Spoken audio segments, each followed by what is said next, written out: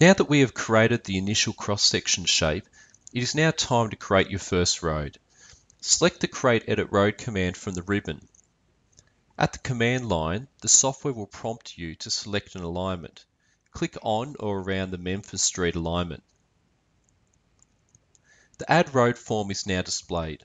The name of the alignment is used as the road name.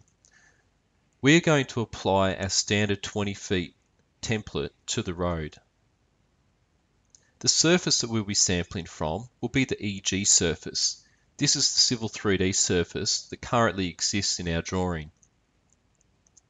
The general cross-section sampling is controlled by changing the spacing across the tangents, arcs and spiral segments along the alignment.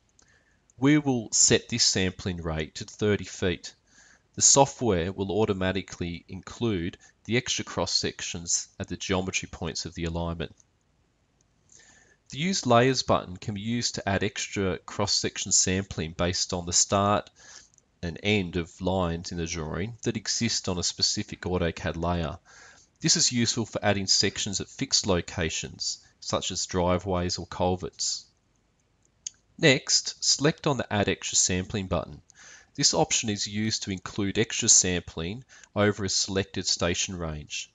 At stations 260 to 430, we will increase the cross-section sampling to 5 feet.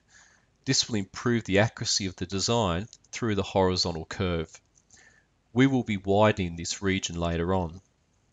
The tick box to the right allows the user to set whether this extra sampling will be also shown in the vertical grading editor.